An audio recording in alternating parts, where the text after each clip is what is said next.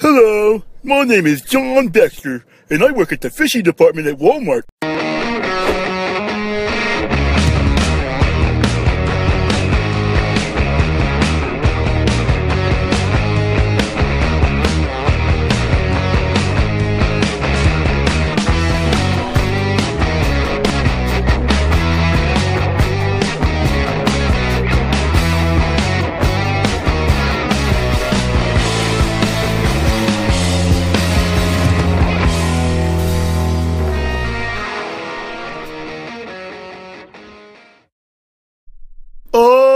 Don't know why I'm so lonely.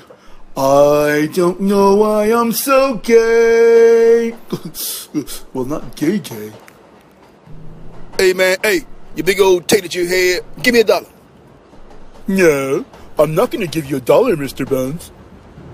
Why you no good, tater you head, cabbage patch head looking like a baboon bitch. Give me a dollar. Why do you have to call me so many names? You're a name caller. Man, what you crying for, you big old wuss? Hey, it's okay, man. He looks like he needs a woman. Yeah, but the motherfucker just said he was gay.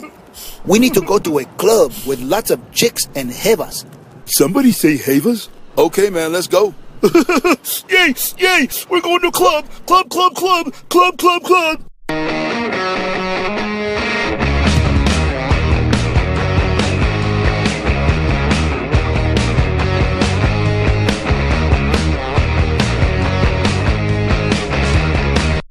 Hey man, hey, they say there be some fine women up in here. Dude, but you're a homeless panhandler. Man, it doesn't matter who he is or how he smells. In this place, anybody can get lucky. Ah, your feet look like two cheese balls where I can roll them up and put them into a bagel and crunch them over and over.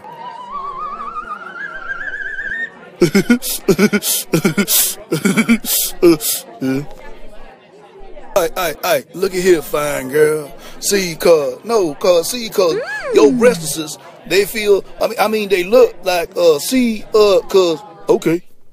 so, so, how many Cubans does it take to screw in a light bulb? so, so what's your sign? hey, where's everybody going?